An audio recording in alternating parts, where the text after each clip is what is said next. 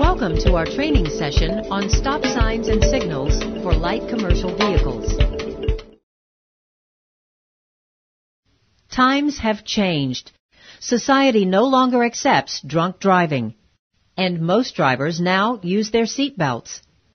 Motorist attitude towards stop signs and stop signals, on the other hand, remains largely the same. They're a necessary annoyance.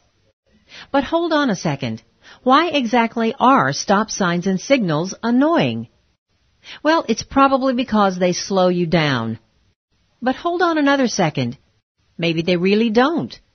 Say you just flat out run the first red light on your next delivery or route. Wouldn't that throw off your timing for catching the next green light?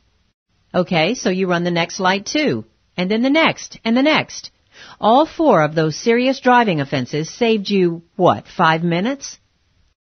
There comes a time when you have to ask yourself, just how does my five minutes equal the lifetime of someone I kill by running a stoplight?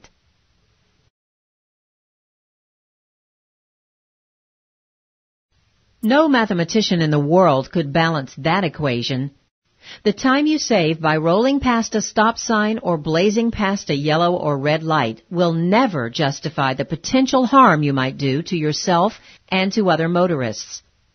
That's the central message of this course. And by heeding that message and completing this training, you will be able to explain the consequences of failing to obey stoplights and stop signals while driving your truck. Specify how to properly stop at intersections and railroad crossings. And list strategies to overcome the impulse to ignore stop signs and signals.